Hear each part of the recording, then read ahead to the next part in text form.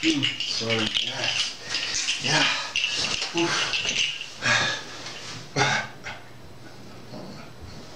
Hello, Brother Billy. Hello, Brother Anthony. Well, it's a hot day here in South Africa now. It's really hot. Oof. But, but you know, all this heat, when you, when you put a lot of rain with the heat, then you can grow your garden.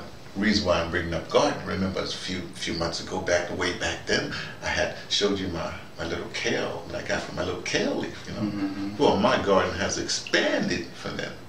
Or as, or as they say, uh, since I was so successful with the kale, subsequently, that's a big word that, that we use in the university. Yeah. Use those big words. Okay. Subsequently, I, I got inspired. So I got I, I, I planted some uh, some some radishes and these these long stem broccoli and some baby uh, some baby spinach. I think there's some peppers in there too. Anyway, well, the baby spinach not doing too well because it's too hot, right? And the, and the, rad, and, and uh, the radishes are great. Uh, the broccoli I'm just uh, looking at right now.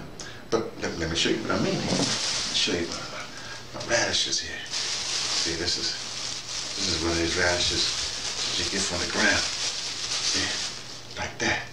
Now you know they say you can eat a pound of dirt before you die if exposed to. So I'm just gonna bite. Crunchy, nice. I love radish. That earthy taste. Well, I'm supposed to wash it off, but I'm not worried about it. But you see the, the leaves, you know, sometimes the little buggies and the snails, they come and eat the leaves. No problem. I'm going like, hey, share and share alike. You know, it's, it's their world too. I mean, why should I be exclusive to the world? Now, you know, this is like GMO seeds, and those GMO people, they want to take it all. They don't want to share with nothing.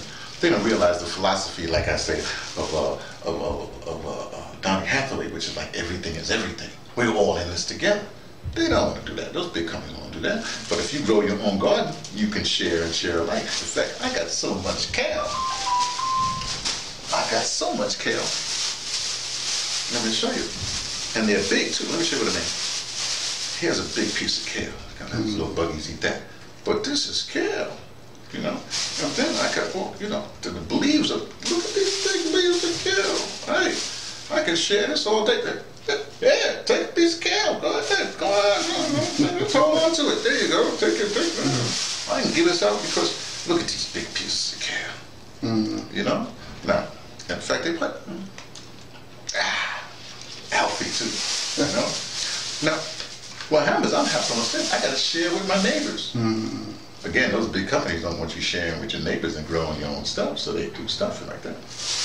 But anyway, I only bring all that stuff up just to say, hey, we should be a little bit more communal in our stuff. Uh, maybe we don't want to be communal, but I think we should. And that's just an opinion. It's opinion from from from me. You know, the arts director of emeritus. That would be uh, me, T, from the Pattersons, taking the train to Tibet, letting you know what I only suspect uh, about gardening and sharing. Ouais.